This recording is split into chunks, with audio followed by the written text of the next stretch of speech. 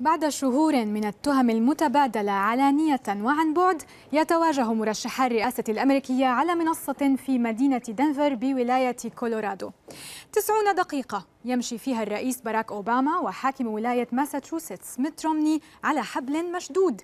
فالمناظرات التي بدأ تنظيمها عام 1960 اكتسبت أهمية تاريخية في الولايات المتحدة حيث يمكن لأي هفوة أو لحظة تردد أن تقضي على حظوظ مرشح. المناظرة هي الأولى من ثلاث وموضوعها السياسة الداخلية. ولن يكون مفاجئا أن يركز المرشحان على موضوع الاقتصاد في دولة لا تزال تعاني من أزمة مالية خانقة. ومن الملفات الأخرى التي يمكن أن يتطرق إليها المرشحان التأمين الصحي والضرائب والديون.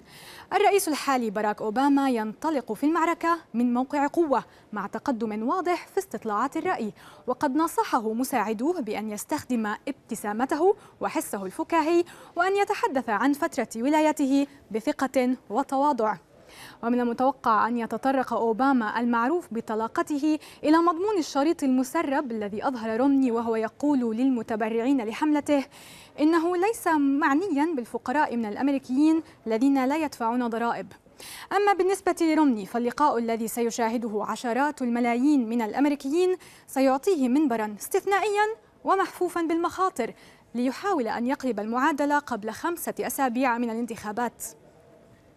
وقد قالت مستشارة في حملة رومني إن رئيسها سيسعى لأن يكون عدائيا باحترام وسيحاول في الوقت نفسه أن يكسب ثقة النساء والأقليات. ومن المرجح أن يكرر رومني وعوده بانتشار الاقتصاد الولايات المتحدة من الحضيض وخلق 12 مليون وظيفة لكن من الممكن أن يتجاوز هجومه نطاق السجل الاقتصادي لأوباما. فحجة عدم كفاءة الرئيس في إدارة ملف الاقتصادي قل وهجها بعد انخفاض نسبة البطالة.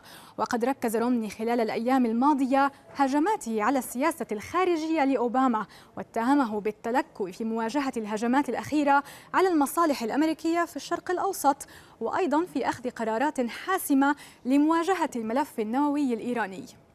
التحدي الأكبر للمرشحين في هذه المناظرة سيكون تقديم تفاصيل جديدة بدلا من تكرار شعارات أو شعارات قالوها في حملتيهما الانتخابيتين في محاولة لجذب ناخبي الوسط والناخبين الذين لم يتخذوا قرارا بعد.